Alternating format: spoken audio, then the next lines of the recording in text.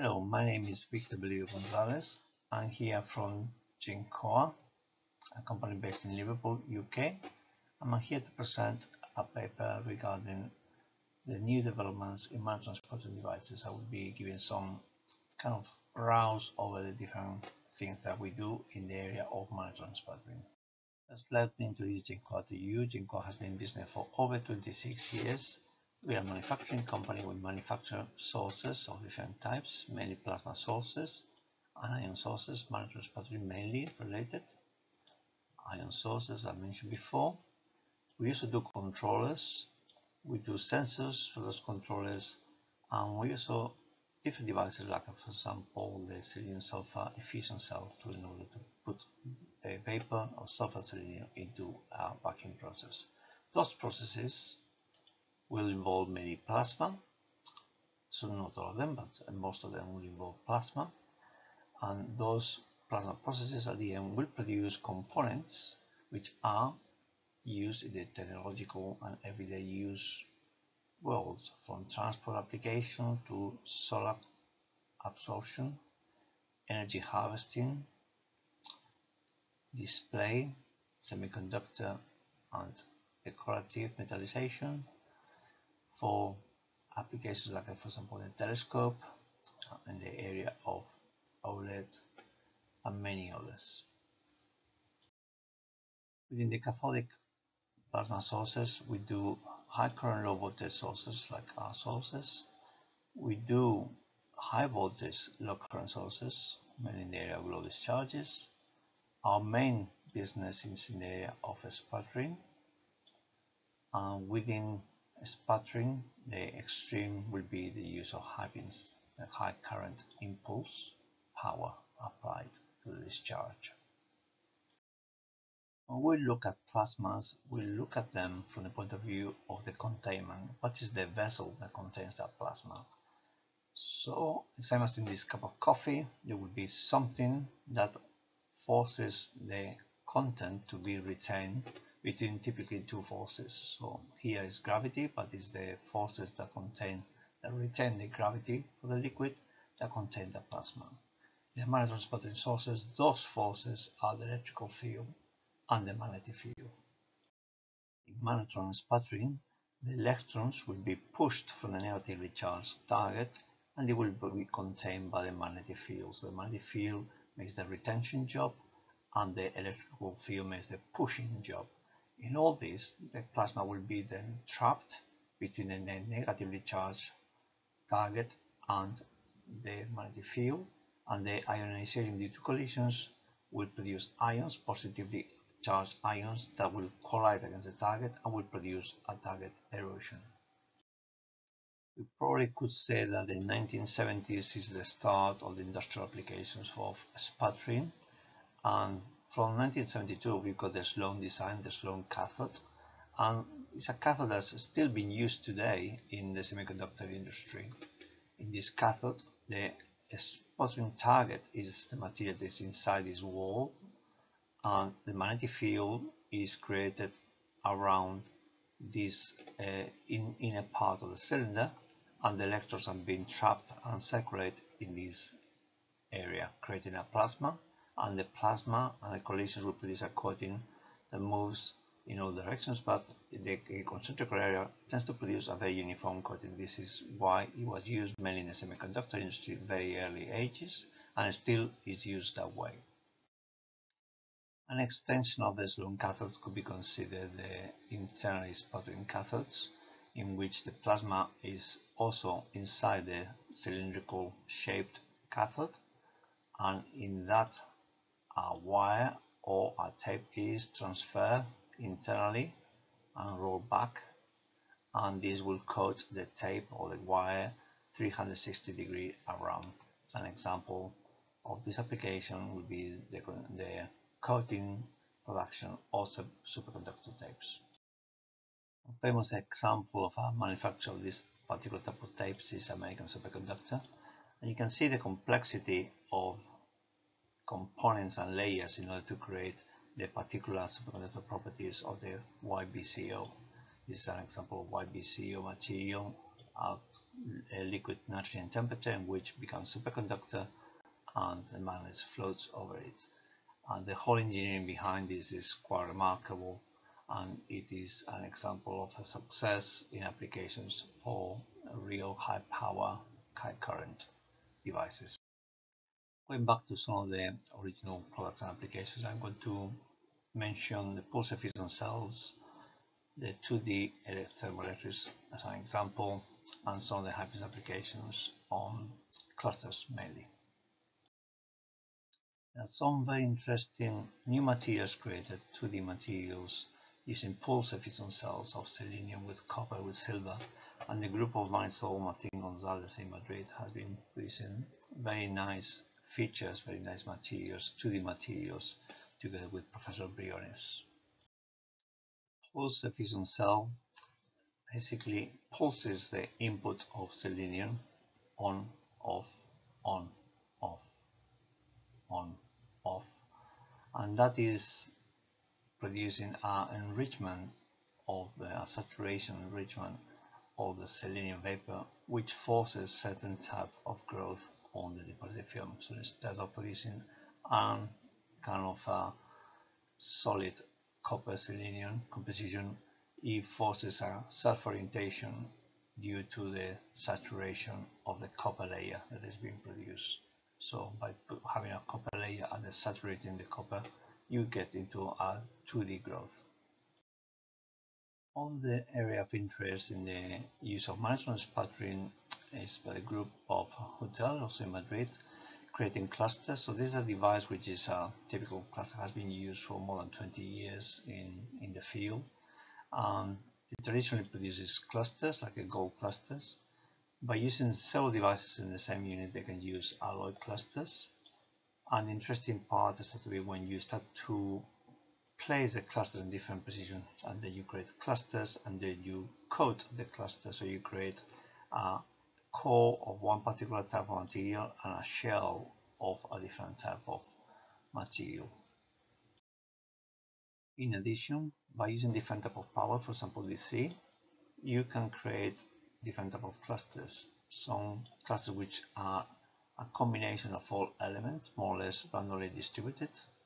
And by using HiPIMS, you can get the distribution of different type of clusters. So some clusters which have this combination of materials, some that are more shelf, and also a segregation also of the clusters, like in this case, the gold.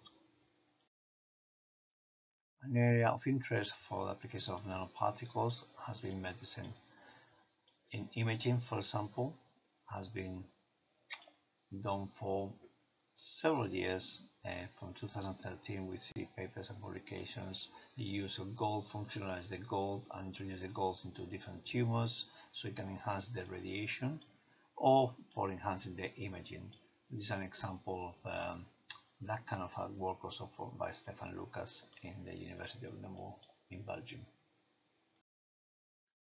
One of the areas we're looking the application of clusters is the use for plasmonics. In this case, for example, we use clusters, could be gold, could be silver, could be copper in a matrix like titanium oxide, and that will separate electrically those clusters, and we could have some optical effects, plasmonic effects, between the combination and the location of those clusters.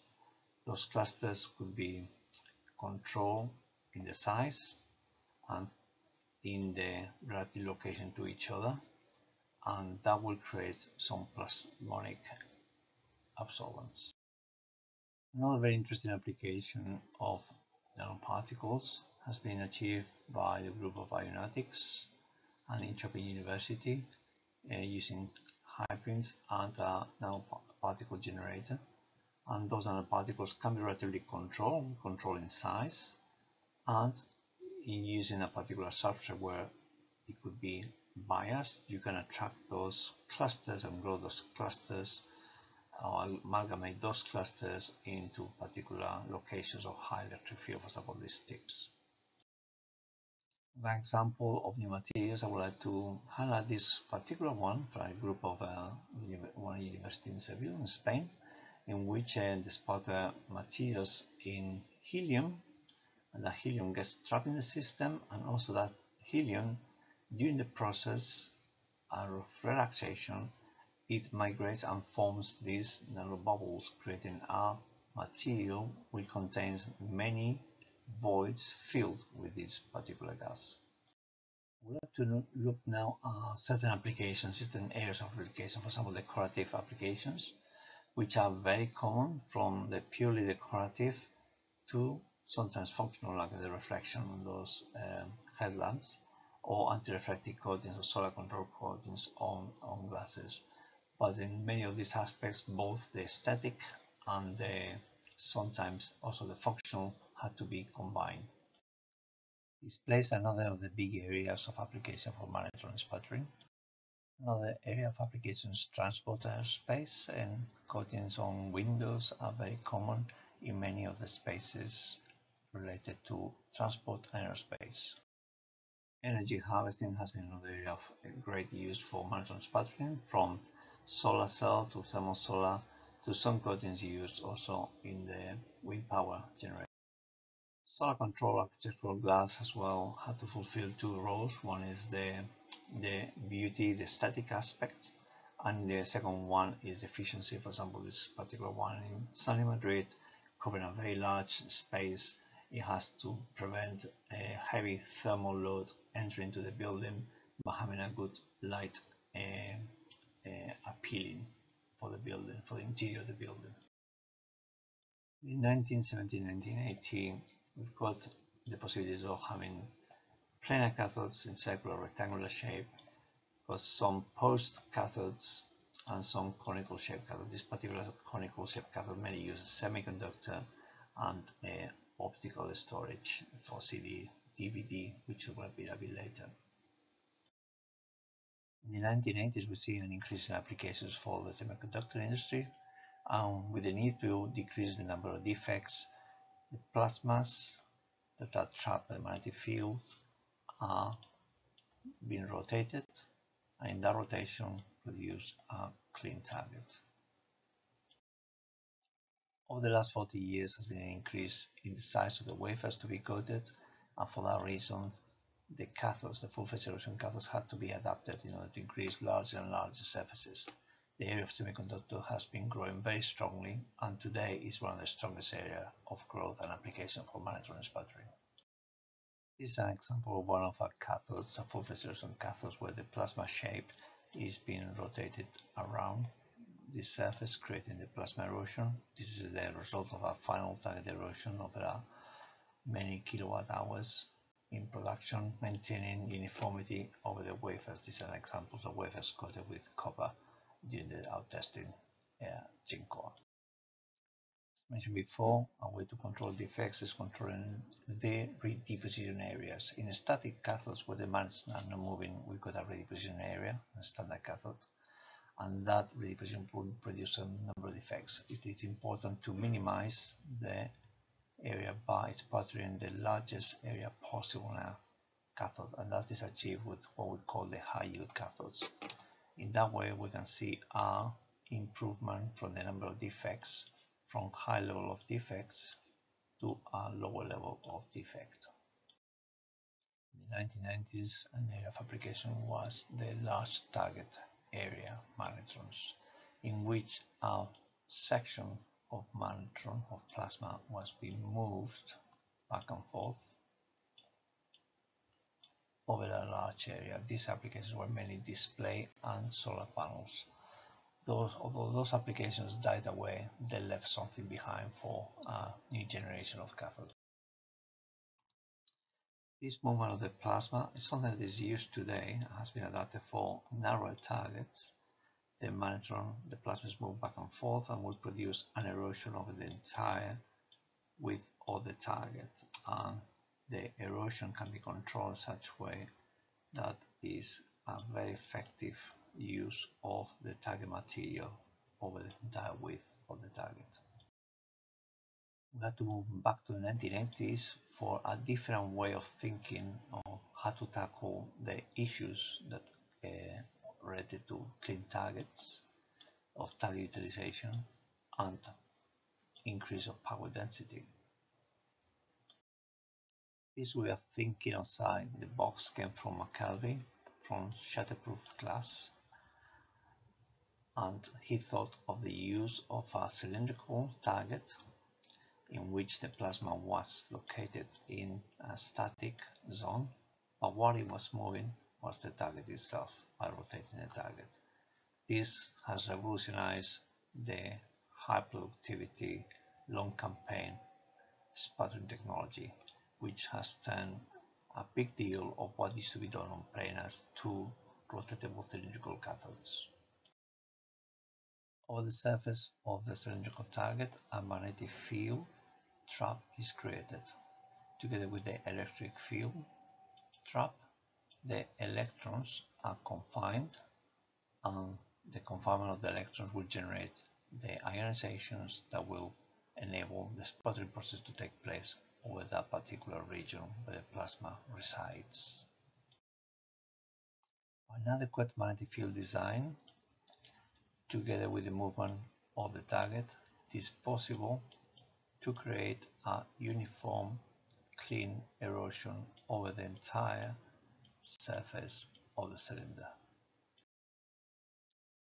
The deposition of dielectric materials has been one of the greatest achievements in the use of dual cathodes in AC medium frequency configuration where the electrons are able to travel from one cathode to the other which acts as an anode in an alternative way. The electrons will find a path where they find the minimum resistance. Typically that path goes to the cleaning part which is at the back of the target. An improvement in that technology was uh, done by us, by Gencoa, in one of our patents where we created a impedance, low impedance path for the electrons where the electron will travel to the clean part of the target at the front, maintaining the main plasma at the front of the cathode in this region. In magnetron sputtering, we not only need the cathode, but we also need the anode. And when the anode is active and found, then the plasma is confined. When the anode is lost and stops receiving electrons, then the plasma escapes trying to find a way to close the circuit back to the power supply. In this case, the plasma confinement is lost.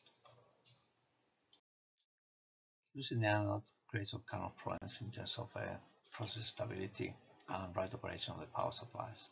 So it is important sometimes to create these kind of paths that are able to be stable during the whole process for the electrons that come from the cathode arrive safely and stably to the anode. Different anode configurations will be needed depending on the power mode and depending on the type of confinement that is pursued for the particular process. As an example, in this particular aluminum oxide process with dual AC cathodes, we use a type of confinement that provides a dense area of sputtering and densification and uh, production of ions which are bombarding the surface which is growing. Magnetron sputtering sondas could be used in a reverse role, so instead of producing a coating, it produces an etched on the surface. For that, we have a magnetic field created over the substrate surface, and that will trap the electrons, create a plasma being trapped in that region and that plasma will be responsible for etching the substrate surface. An example of the etching of 1000 nanometer silicon oxide so you can see the interference fringes created by the light, the diffraction on this region. This type of technology is easily transferable to a roll-to-roll -roll production. Let me briefly touch on an area of application currently very active in the area of antimicrobial antiviral surfaces. The flexibility of magnetron sputtering enables us to create surfaces with different features and those features have been tested very effective against bacteria and against viruses like for example in the case of this um, coronavirus is able to deactivate the coronavirus in 15 minutes into a level of 99.98%. Many technology processes require feedback control. For that control, we use controllers, which will be feeding a reactive gas into a process that consumes, a plasma process consumes, and we can look at what happened to the substrate, what happened to the non-reactive gases, or we can look at what happened to the target itself, and that information can be fed back into the control system in order to provide adequate responses. This is an example for a silicon nitride process control on a semiconductor application using silicon nitride process. For that we have a sensor which is looking at the gas which is now being consumed and we injecting the gas via MFC and we got the controller looking at information from the sensor and injecting the adequate response gas. The previous slide we saw the use of this optic sensor. This optic sensor we create internally a plasma and the plasma is the one that is being monitored. This plasma responds to the different gas chemistry that is fed into the cavity which comes from the main system. In that way, we are able to sniff into the process and respond to the process. Following the previous example, we have here the hysteresis response of the system of the plasma process to the injection of gas. We inject gas typically in a gradual form as a ramp, going up and coming down, going up and coming down. And we see the responses of the different sensors. For example, the target for a high voltage would come down as it gets poisoned with excess of gas. As the gas comes down, then the target will be poisoned and the voltage will go up. Down when it poisons, up when it poisons. And in a similar manner, when, it does, when the gas is being consumed, the partial pressure sensor will give us a low value. And as the target stops consuming so much of this gas becomes excess and the partial pressure of the gas becomes higher. As the, the partial pressure goes down and is getting consumed, the pressure pressure goes down, then goes up when it's not being consumed and gets down when it's being consumed. And we can use all the sensors information in order to create a feedback control looking at the information coming from the Optix nitrogen signal, we could equally use a phase control of the flow and we could also monitor the voltage at different levels of the hysteresis in order to control the process at different set points. These feedback control systems are used for large productivity and especially large area when the uniformity that you want to achieve and the speed of production requires to speed up that process. In those cases, a feedback control system is needed. Sources filters are not used as a means to coat the surface, but to produce a treatment on that surface. Sources spotting sources for treatment could be single, but also could be dual magnetron, which typically we use be used with oxygen, creating a plasma. Mainly, the application is for etching of flexible organic web material. Roll-to-roll applications for plasma treaters, for magnetron sputting plasma treaters are very common and are able to work at this very large speed for very wide webs, like up to 5 meters, over a very, very high speed up to 1000 meters a minute. Magnetron sputtering excels where there's a materials challenge. As an example that material challenge is the production of thin film batteries, which is expected to grow. Has been growing, but this year probably will be one of the fastest growth for the production, large production of these batteries. One of the first successes of uh, Gencoa cathodes was in the area of OLED, for transparent barriers. all the OLED devices need protection. That protection is created by encapsulation and Vitex in the 2000s came with a patent in order to overcome the issue of poor barrier of inorganics due to uh, pinhole defects by inserting a layer of inorganic with a polymer, inorganic, polymer, inorganic, polymer. That created a difficult path for the air and the atmosphere to come into the device and that created the possibility of the first Galaxy phones, the first OLED displays that we have seen in the market. With time, the need for simple barriers has been growing and a way to solve the problems of adding simple barriers instead of these complex multi-layer barriers came from the telescope industry, the use of silicon nitride as a barrier, effective barrier with low number of defects, and thus came as a protective for silver on the telescope industry. Moving to a different subject, in general, magnetron sputtering, 90% of the uses are in the field what we call low bombardment or balance sources, but there is a, a strong field of application which covers around 10% of the market in the area of high ion bombardment. And for that, what we're looking at is that the plasma to be ejected and propelled towards a substrate that it's been treated. We have different sources. The plasma interaction between different sources make the plasma be confined in a different way. And as a part of the design, we combine magnetics and we change the angles of those magnetics in order to have different type of entrapments for the plasma. Sometimes we can open the plasma and sometimes we can force the plasma to close in into the substrate area. We have created a range of cathodes called VTR in which we provide the ability to control the degree of balance and unbalance of these cathodes. By controlling the direction and the movement of these additional magnetic means, we're able to control the plasma interaction with the substrate.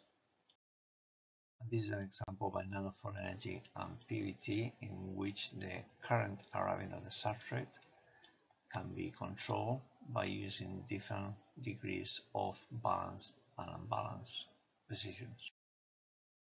Management design and power mode, for example from HiPIMS to the addition of a positive pulse, have improved the performance and of what can be achieved with using HiPIMS technology. High can be used sometimes as a coating system method. We call this method high V plus 2, in which a HiPIMS mode with a V plus is able to dope the surface and in that doping of the surface we are able to improve the properties of a simple DC sputtering process dramatically. Another example is the use of the high power positive pulse in which the mode is an etching mode in combination typically with another cathode which acts um, almost as a neutralizer. What we're able to achieve with this new technology is by pulsing we are sending a high level of ions over the substrate and that is able to produce high rates of etching in the area of 1 nanometer per minute on silicon nitride. So as a summary, magnetron sputtering has entered into the fifth decade of industrial applications. Magnetron sputtering market has continued to grow over all this period. The semiconductor, display energy, and decorative are the main applications, with semiconductor and display being probably the strongest at the moment. And new materials and technology applications are emerging and will continue to emerge. And sensor medical applications will increase. Thank you for your time.